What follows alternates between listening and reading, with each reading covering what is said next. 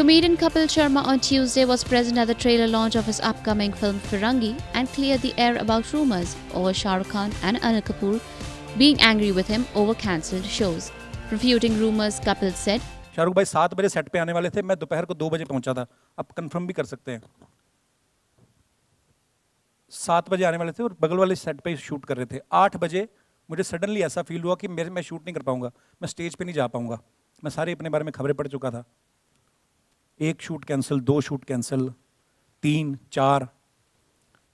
कुछ लोग समझ जाते हैं, कुछ लोग खबरें फैला देते हैं, जैसे अनिल कपूर सर आए थे तो उनको लगा कि नहीं यार, तू नहीं कर पाएगा, कोई बात नहीं नेक्स्ट टाइम आएँगे दोबारा। ठीक है सपोर्ट भी बहुत किया। शाहरुख भाई दोबारा मुझे मिलने आए।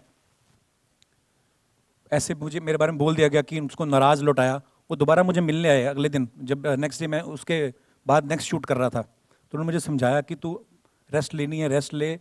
तुम ना थोड़ा माइंड सेट कर। मैंने सोचा कि मुझे रेस्ट चाहिए शायद। मैंने ब्रेक ले लिया। Kapil's upcoming film Firangi is however scheduled for release on November 24